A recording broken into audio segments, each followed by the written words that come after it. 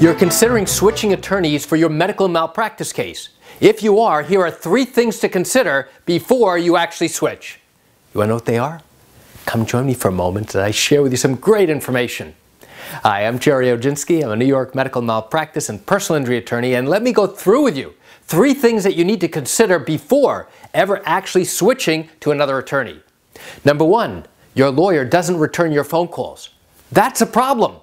You need to have good communication between your attorney and yourself so that you know exactly what's going on. You should be fully aware and informed every single month about what's going on in your case, even if nothing is really happening and you're at a standstill at the moment. Number two, if the attorney does not return your phone calls and he doesn't return your emails, now that creates a problem. Why? Because you're not getting information in a timely fashion to help you understand what's going on behind the scenes.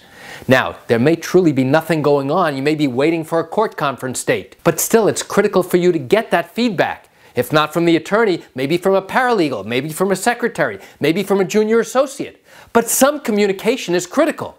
And number three, and this is really important, if the attorney gives you the sense that he's really not as experienced as he claims to be, that you can only get by talking to the attorney, by hearing the attorney, by asking questions and listening to the responses.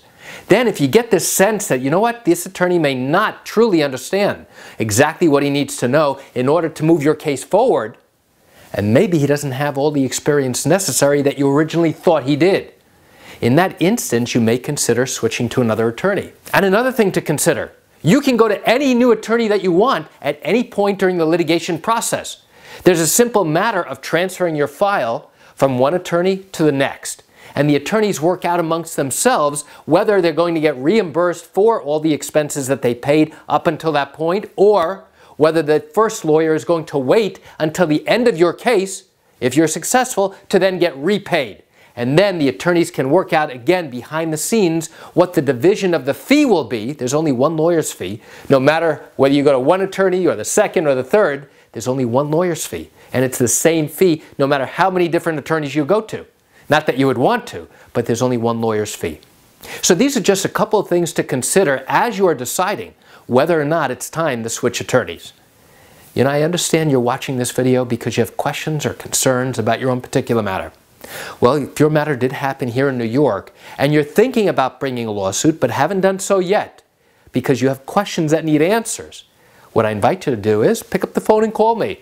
I can answer your legal questions. You know, this is something I do every single day and I'd love to chat with you. You can reach me at 516 487 8207 or by email at gerry, G-E-R-R-Y, at oginski-law.com. That's it for today's video. I'm Gerry Oginski. Have a wonderful day.